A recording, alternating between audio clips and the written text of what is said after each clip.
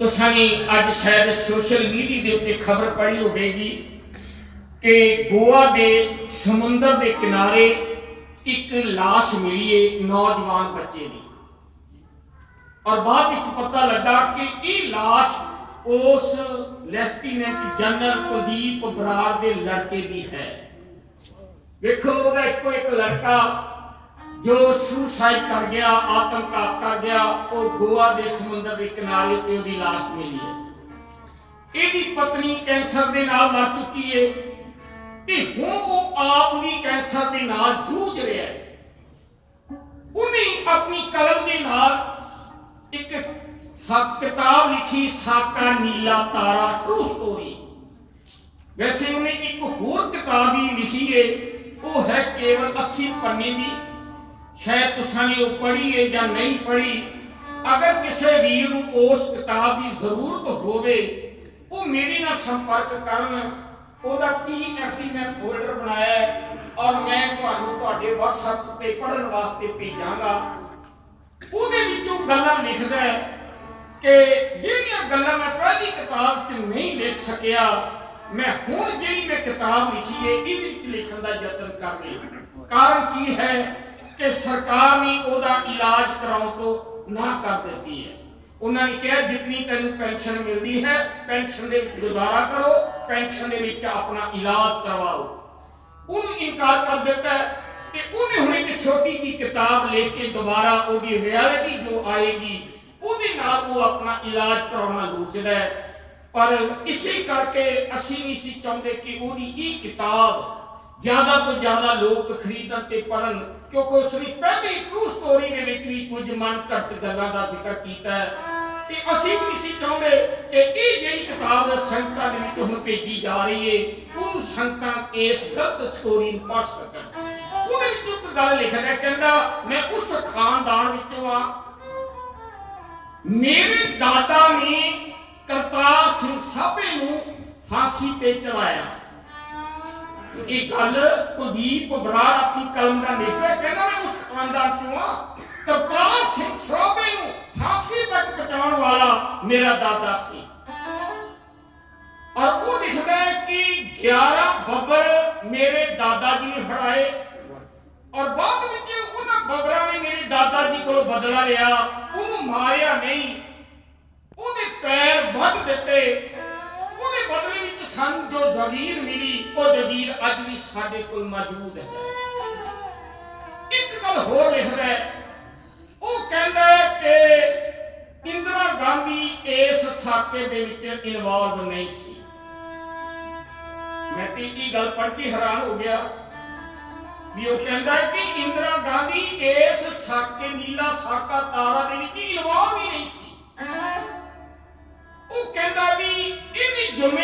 ਮੈਨੂੰ ਸੌਂਪੀ ਗਈ। ਸ਼੍ਰੀ ਵਾਸਤ ਬਾਬਾ ਜਰਨੈਲ ਸਿੰਘ ਜੀ ਪਿੰਡਰਾ ਵਾਲੇ, ਜਿਨ੍ਹਾਂ ਨੇ ਕੌਮ ਦੇ ਵਿੱਚ ਇੱਕ ਨਵੀਂ ਰੂਹ ਫੂਕੀ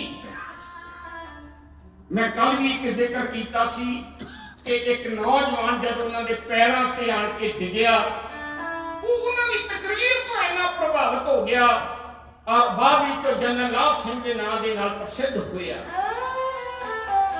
ਇੱਕ ਹਿੰਦੂ ਸੰਤਾਂ ਦੀ ਸ਼ਰਨ ਵਿੱਚ ਆਇਆ, ਕਹਿੰਦਾ ਜੀ, ਮੈਂ ਅੰਮ੍ਰਿਤਧਾਰੀ ਹੋਣਾ ਚਾਹਾਂ ਸੰਤ ਕਹਿਣ ਲੱਗੇ ਵੀ ਤੇਰੇ ਕੋਲੋਂ ਰਹਿਤ ਮਰਜ਼ਾਦਾ ਨਹੀਂ ਰੱਖ, ਹੋਣੀ ਅਸੀਂ ਤੈਨੂੰ ਅੰਮ੍ਰਿਤ ਨਹੀਂ ਛਕਾਉਣਾ ਉਹ ਕਹਿੰਦਾ ਜੀ, ਮੈਂ ਅੰਮ੍ਰਿਤ ਛਕਣਾ ਹੈ ਤੇ ਛਕਣਾ ਵੀ ਤੁਹਾਡੇ ਕੋਲੋਂ ਹੀ ਹੈ। ਸੰਤ ਕਹਿੰਦੇ ਵੀ ਜੇ ਰਹਿਤ ਮਰਜ਼ਾਦਾ ਨਾ ਰੱਖ ਹੋਈ ਨਾ, ਅਸੀਂ ਮਿੱਟੀ ਦਾ ਤੇਲ ਖਾ ਕੇ ਫੂਕ ਦੇਣਾ ਉਹ ਉਸੇ ਵੇਲੇ ਗਿਆ, ਇੱਕ ਤੇਲ ਦਾ ਪੀਪਾ ਲੈ ਆਇਆ। ਸੰਤਾਂ ਦੇ ਅੱਗੇ ਰੱਖ ਦਿੱਤਾ। ਕਹਿੰਦਾ ਜੀ, ਜੇ ਤੇਰੇ ਕੋਲ ਰਹਿਤ ਮਰਜ਼ਾਦਾ ਨਾ ਰੱਖ ਹੋਈ ਤੇ ਮੈਨੂੰ ਇਸ ਮਿੱਟੀ ਦੇ ਤੇਲ ਨਾਲ ਸਾੜ ਦਿਆ ਜੀ ਮੈਂ ਇੱਕ ਹੱਥ ਜੋੜ ਕੇ ਬੇਨਤੀ ਕਰਾਂ, ਅਸਾਂ ਨੇ ਮਨੁੱਖਾਂ ਵਿੱਚ ਤੇ ਵੰਡੀਆਂ ਪਾਈਆਂ ਹੋਈਆਂ ਨੇ, ਅੱਜ ਅਸਾਂ ਨੇ ਅੰਮ੍ਰਿਤ ਵੀ ਵੰਡੇ ਹੋਏ ਅੱਜ ਕਈ ਸੱਜਣ ਕਹਿੰਦੇ ਨੇ, ਅਸਾਂ ਨੇ ਸ਼੍ਰੀ ਅਕਾਲ ਤਖਤ ਸਾਹਿਬ ਤੋਂ ਅੰਮ੍ਰਿਤ ਛਕਿਆ।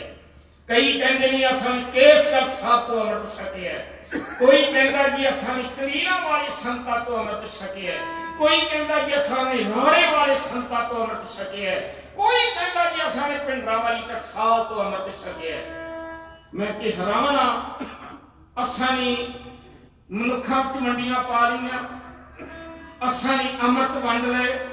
ਹੁਣ ਤੇ ਇਹ ਸਮਝੋ, ਅਸਾਂ ਨੇ ਸ਼ਹੀਦ ਵੀ ਵੰਡੇ ਹੋਏ ਨੇ, ਸ਼ਹੀਦ। ਇਹ ਸਾਡੀ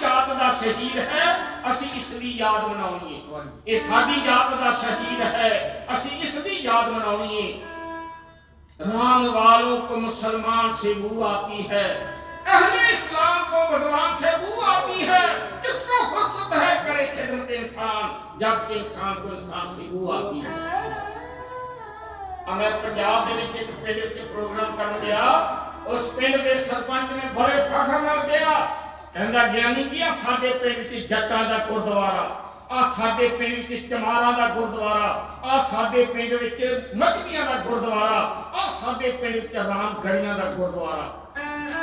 ਜਾਤਾਂ ਪਾਤਾਂ ਦੇ ਆਧਾਰ ਉੱਤੇ ਗੁਰਦੁਆਰੇ ਵੱਖਰੇ ਬਣਾਏ ਜਾ ਰਹੇ ਨੇ। ਖਾਲਸਾ ਜੀ, ਜਿਨ੍ਹਾਂ ਨੇ ਅੰਮ੍ਰਿਤ ਛਕਿਆ, ਮੁਬਾਰਕ। ਜਿਨ੍ਹਾਂ ਨੇ ਅੱਗੇ ਅੰਮ੍ਰਿਤ ਨਹੀਂ ਛਕਿਆ, ਅੰਮ੍ਰਿਤ ਛਕ ਪਿਆਰ ਦਾ ਪਿਆਰ ਹੋਵੋ। ਨਾ ਜਾਤ ਰੱਖੋ ਗੁਲਾਮੀ ਤਿੰਨ ਤਰ੍ਹਾਂ ਦੀ ਹੈ ਇਹ ਸਿਰ ਕਿਸੇ ਦੇ ਅੱਗੇ ਝੁਕ ਜਾਏ ਗੁਲਾਮੀ ਹੈ ਅੱਖਾਂ ਝੁਕ ਜਾਣ ਗੁਲਾਮੀ ਹੈ ਆਤਮਾ ਕਿਸੇ ਦੇ ਅੱਗੇ ਝੁਕ ਜਾਏ ਗੁਲਾਮੀ ਹੈ ਮੇਰੇ ਕੰਜੀ ਵਾਲੇ ਪਾਤਸ਼ਾਹ ਨੇ ਪੰਜ ਘੁੱਟ ਪਿਆਏ ਆਖਿਆ ਬੋਲੋ ਵਾਹਿਗੁਰੂ ਜੀ ਕਾ ਖਾਲਸਾ ਵਾਹਿਗੁਰੂ ਜੀ ਕੀ ਫਤਿਹ ਮਤਲਬ ਕਿ ਇਹ ਆਤਮਾ ਕਿਸੇ ਦੇ ਅੱਗੇ ਝੁਕ ਨਾ ਸਕੇ ਪੰਜ ਸੱਤੇ ਨੇਤਰਾਂ ਵਿੱਚ ਮਾਰੇ ਤਾਂ ਕਿ ਅੱਖਾਂ ਕਿਸੇ ਦੇ ਅੱਗੇ ਝੁਕ ਨਾ ਸਕਣ ਪੰਜ ਚੋਲੇ ਕੇ ਸੰਤ ਪਾਏ ਤਾਂ ਕਿ ਇਹ ਸਿਰ ਕਿਸੇ ਦੇ ਅੱਗੇ ਝੁਕ ਨਾ ਸਕੇ ਦੇ ਕੇ ਤੇਲ ਦਸ਼ਮੇਸ਼ ਨੇ ਕਿਹਾ ਸਿੰਘੋ ਜਾਓ ਪੁੱਛੀਆਂ ਅੱਜ ਸਰਦਾਰੀਆਂ ਨੇ ਕੰਗਾ ਫੇਰ ਦੇ ਸਦਾ ਹੀ ਯਾਦ ਰੱਖਣਾ ਇਹਨਾਂ ਸਿਰਾਂ ਤੇ ਫਿਰਨੀਆਂ ਆ ਸ਼੍ਰੀਮਾਨ ਸੰਤ ਬਾਬਾ ਜਗਨਾਥ ਸਿੰਘ ਜੀ ਪਿੰਡਰਾ ਵਾਲੇ ਉਹ ਟਕਸਾਲ ਦੇ 14ਵੇਂ ਮੁਖੀ ਬਣੇ ਨੇ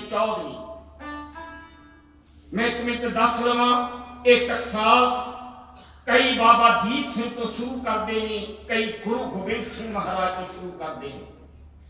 ਇਸ ਟਕਸਾਲ ਦੇ ਪਹਿਲੇ ਮੁਖੀ ਸਨ ਸ੍ਰੀ ਗੁਰੂ ਗੋਬਿੰਦ ਸਿੰਘ ਜੀ। ਉਹਨਾਂ ਤੋਂ ਬਾਅਦ ਬਾਬਾ ਦੀਪ ਸਿੰਘ ਜੀ। ਬਾਬਾ ਦੀਪ ਸਿੰਘ ਜੀ ਤੋਂ ਬਾਅਦ ਬਾਬਾ ਗੁਰਬਖਸ਼ ਸਿੰਘ ਜੀ।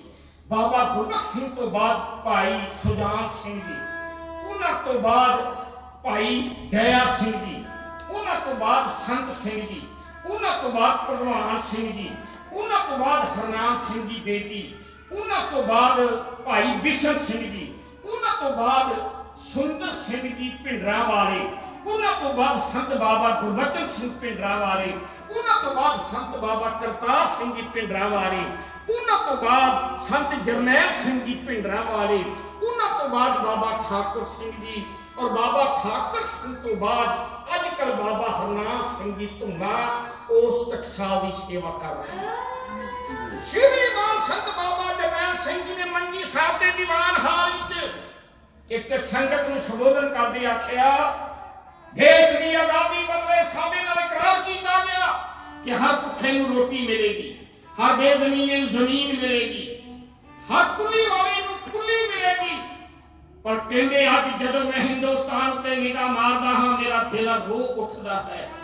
ਭੁੱਖ ਦੀ ਖਾਤਰ ਲੋਕਾਂ ਦਾ ਇਮਾਨ ਵਿਕ ਰਿਹਾ ਹੈ ਗਰੀਬ ਲੋਕਾਂ ਦੀ ਇੱਜ਼ਤ ਸ਼ਰੇ ਵਧਾਰ ਵਿਕ ਰਹੀ ਹੈ ਖਾਲਸਾ ਜੀ ਉਹਨਾਂ ਨੇ ਆਖਿਆ ਨਿੱਕੀ ਨਿੱਕੀ ਮਿੱਟੀ ਦਾ ਟੈਂਕਾ ਮਿਲ ਕੇ ਤੂਫਾਨ ਪੈਦਾ ਕਰ ਦਿੰਦਾ ਇੱਕ ਨਿੱਕੀ ਨਿੱਕੀ ਬੂੰਦ ਸਾਗਰ ਵਿੱਚ ਜਵਾਰ ਪਾਟਾ ਲੈ ਆਉਂਦੀ ਹੈ ਜਦੋਂ ਛੱਡਿਆਂ ਦਾ ਵੇਗ ਆਪਣੇ ਹਰ ਇੱਕ ਤੁਰ ਪਏ ਇਨਕਲਾਬ ਦੇ ਧੂਰੇ ਵਿੱਚੋਂ ਨਿਕਲੇ ਹੋਏ ਹਰਵਾਗੀ ਇਹ ਕਾਲੀ ਮਜਬੂਰ ਹੋ ਜਾਂਦੇ ਹਨ ਉਸਾਂ ਨੇ ਢੰਗ ਜੀ ਵਿੱਚ ਰਿੰਗਦੀ ਹੋਈ ਜ਼ਿੰਦਗੀ ਨਹੀਂ ਲੈਣੀ ਅਸੀਂ ਤੇ ਸਰ ਉਠਾ ਕੇ ਬਿਜਲੀਆਂ ਨੂੰ ਅੱਖ ਮਾਰਾਂਗੇ।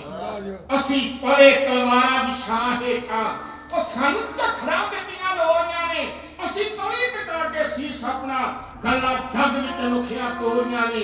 ਅਸ- ਉਹਨਾਂ ਦੇ ਸੀਰ ਵਿੱਚ ਰਾਹ ਪੀਂਦੇ ਜਿਹੜੇ ਰਾਹ ਕਰਦੇ ਸੀਨਾ ਜੋਰੀਆਂ ਨੇ ਉਹ ਅਸੀਂ ਛਾਜੋਲੇ ਨਹੀਂ ਜਾਰ ਪਿੱਟੇ ਅਸੀਂ ਮੂੰਹ ਦੇ ਕਈਆਂ ਕੋਰੀਆਂ ਉਹਨਾਂ ਨੇ ਆਪਣੇ ਹੱਕਾਂ ਦੀ ਆਜ਼ਾਦੀ ਮੰਗੀ ਖਾਲਸਾ ਜੀ ਹਿੰਦੁਸਤਾਨ ਦੀ ਸਰਕਾਰ ਨੇ ਇੱਕ ਬੜਾ ਗਲਤ ਪ੍ਰਚਾਰ ਕੀਤਾ ਔਰ ਉਹਦਾ ਦੋਸ਼ੀ ਠਹਿਰਾਇਆ ਗਿਆ ਭਿੰਡਰਾ ਵਾਲਿਆਂ ਨੂੰ ਉਸ ਵੇਲੇ ਸਿੱਖਾਂ ਦੇ ਕੋਲ ਕੋਈ ਜ਼ਿਆਦਾ ਸਾਧਨ ਨਹੀਂ ਸਨ ਅਸੀਂ ਸਰਕਾਰੀ ਪ੍ਰਚਾਰ ਦੇ ਮਗਰ ਲਾ ਕੇ ਸੰਤ ਭਿੰਡਰਾ ਵਾਲਿਆਂ ਨੂੰ ਅੱਤਵਾਦੀ ਕਹਿਣਾ ਸ਼ੁਰੂ ਕਰ ਦਿੱਤਾ ਹੁਣ ਜਦੋਂ ਸਚਾਈ ਸਾਹਮਣੇ ਆਉਣ ਲੱਗੀ ਹੈ ਫਿਰ ਪਤਾ ਲੱਗ ਰਿਹਾ ਹੈ ਕਿ ਅਸਾਂ ਇੱਕ ਸੱਚਾ ਸੰਤ ਇਨਕਲਾਬੀ ਖੋ ਦਿੰਦਾ ਖਾਲਸਾ ਜੀ, ਉਹ ਸੂਰਜ ਵਾਂਗ ਚਮਕਿਆ, ਪਰ ਕਿਸੇ ਚੰਦਰੇ ਦੀ ਐਸੀ ਨਜ਼ਰ ਲੱਗੀ, ਉਹ ਛੇਤੀ ਇਸ ਦੁਨੀਆ ਨੂੰ ਅਲਵਿਦਾ ਕਹਿ ਗਿਆ। ਉਹਨੇ ਹੱਕਾਂ ਦੀ ਰਾਖੀ ਬਰਾਬਰ ਕਹਿੰਦੇ ਨੇ, ਇੱਕ ਸਮਾਜ ਨੂੰ ਵੰਗਾਰ ਦਿੱਤੇ। ਮੈਂ ਅੱਜ ਵੀ ਕਹਿੰਦਾ ਹਾਂ, ਅਗਰ ਸ਼੍ਰੀ ਗੁਰੂ ਸੰਤ ਬਾਬਾ ਜਰਨੈਲ ਸਿੰਘ ਭਿੰਡਰਾਂ ਵਾਲੇ ਜੀਵੇ ਹੁੰਦੇ, ਅੱਜ ਪੰਜਾਬ ਦਾ ਪਾਣੀ ਪੰਜਾਬ ਦੇ ਕੋਲ ਹੁੰਦਾ। ਚੰਡੀਗੜ੍ਹ ਪੰਜਾਬ ਦੇ ਕੋਲ ਹੁੰਦਾ। ਅੱਜ ਨੌਜਵਾਨੀ ਨਸ਼ਿਆਂ ਵਿੱਚ ਨਾ ਰੋਗੋਦੀ ਖਾਲਸਾ ਜੀ ਜੀ ਅੱਜ ਸੰਤ ਬਾਬਾ ਜਰਨੈਲ ਸਿੰਘ ਜੀ ਹੁੰਦੇ। ਆ ਸੌਦਾ ਸਾਧ ਵਾਲੇ ਆਸ਼ੂਤੋਸ਼ ਵਰਗੇ ਭਿਆਰੇ ਵਰਗੇ ਸਾਧ ਨਹੀਂ ਸੀ ਲੱਭਣੇ। ਪਰ ਖਾਲਸਾ ਜੀ, ਸ਼੍ਰੀ ਗੁਰੂ ਸੰਤ ਬਾਬਾ ਜਰਨੈਲ ਸਿੰਘ ਦਾ ਇਤਨਾ ਡਰ ਸੀ। ਅੱਜ ਗੁਜਰਾਤ ਦੇ ਵਿੱਚ ਆ ਮਹਾਰਾਸ਼ਟਰ ਦੇ ਵਿੱਚ ਬਾਲ ਠਾਕਰੇ ਵਰਗੇ ਅੱਡੀਆਂ ਚੱਕ ਰਹੇ ਨੇ। ਪਰ ਜਿੰਨਾ ਚਿਰ ਸ਼੍ਰੀ ਗੁਰੂ ਸੰਤ ਬਾਬਾ ਜਰਨੈਲ ਸਿੰਘ ਜੀ ਪਿੰਡਰਾਂ ਵਾਲੇ ਰਹੇ, ਇਹ ਬਾਲ ਠਾਕਰੇ ਵਰਗੇ ਕੁਸ਼ਤੇ ਨਹੀਂ। ਚੂਕਾ ਅਧਹਾ ਹੀਲ ਦਾ ਦਰਗੁਲਸ ਹਲਾਲ ਅਸਤਰਦੰਗਲ ਸਿੰਸ਼ੀਦਸ ਉਹਨਾਂ ਨੇ ਆਖਿਆ, ਜਦੋਂ ਕੋਈ ਵੀ ਹੀਲਾ ਬਾਕੀ ਨਾ ਰਹੇ, ਮਰਦਾਂ ਵਾਸਤੇ ਜਾਏ ਉਹ ਆਪਣੇ ਹੱਥ ਤਲਵਾਰ ਦੇ ਕਬਜ਼ੇ ਉੱਤੇ ਲੈ ਜਾਣ ਖਾਲਸਾ ਜੀ ਨੌਜਵਾਨੀ ਨੇ ਹੱਥਾਂ ਵਿੱਚ